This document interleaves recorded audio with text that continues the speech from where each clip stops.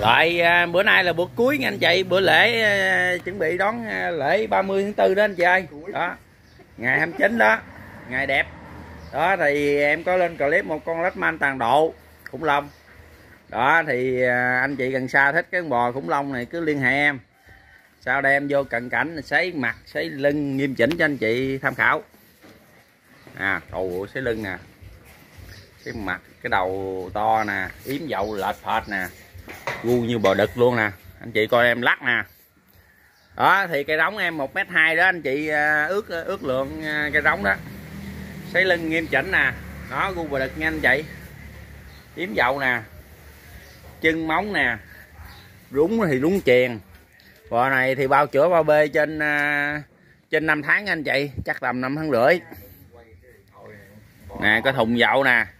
Rúng nè coi nó phê nó tê nè. Đó bốn vú đều nha anh chị. Đó, thì đã tách con cái kem ra rồi anh chị ơi. Đó.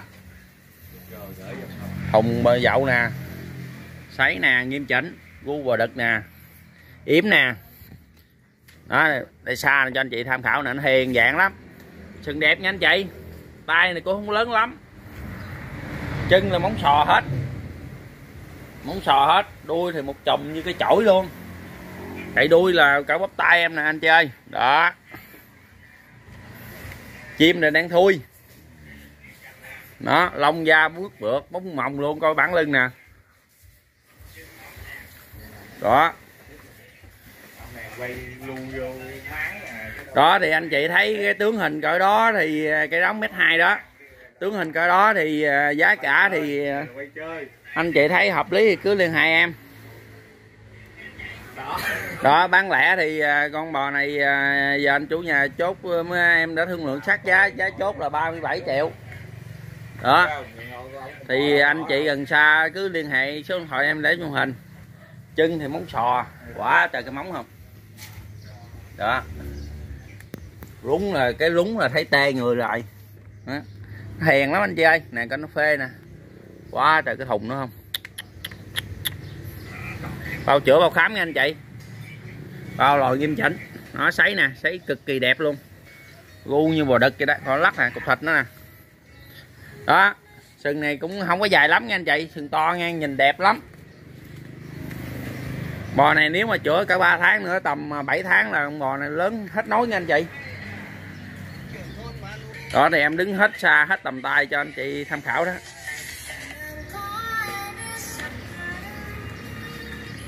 Phải yếm dậu rúng yếm rồi chân móng rồi cái cấp mình nó là khỏi phải bàn cái ờ, độ lớn của nó rồi. Đó thì ờ, giá chốt là 37 triệu nha anh chị. Thì anh chị ở xa thì có ờ, bắt thì phụ tiền xe anh chủ nhà. Đó cậy đuôi nè anh chị ơi. Đó. Qua wow, cực kỳ đẹp luôn đuôi một như cái chổi luôn. Nè coi dạ sữa nữa nè. Bò này nữa là bầu sữa ghê lắm nha anh chị đó, lạch phật nó hiền lắm. Mướt nè. Lông da sắc lẻm nè. Sấy nè anh chị ơi sấy nè. Sấy này không phải sấy tiền anh chị. Sấy tiền nằm chịch bên.